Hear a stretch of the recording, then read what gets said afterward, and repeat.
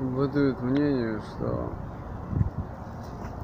длинные волосы мужчин это женственно. Но это лишь со стороны обывателя.